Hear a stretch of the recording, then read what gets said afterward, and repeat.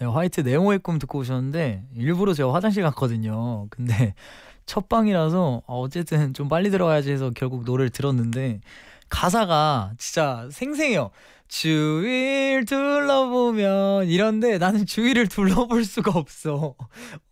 고개를 돌릴 수가 없어 막고 있으니까 그리고 온통 네모난 것들 뿐인데 이런데 나는 주먹밖에 없어 주위를 둘러보면 주먹이에요 그냥 그리고 지구본이 둥글다는데 주먹이 더 둥글 거야 나한테는. 네. 그리고 이 노래가 아땅 끝나잖아요. 그럼 나는 그때 끝난 게 아니야. 한 곡 재생돼서 또 돌아와요 이 노래가. 따라다당 따당 무한 반복. 예. 그래놓고 지금 우리 가족 단체방에 큰 누나가 니마 다른 에피소드 좀 부탁할게요. 네모의 꿈 식상. 이러는데 자기는 식상하겠지. 자긴 가해자니까 몰라요. 네. 피해자는 식상하지 않습니다. 네. 아무튼 화이트 이 선배님한테도 굉장히 죄송합니다. 이 노래.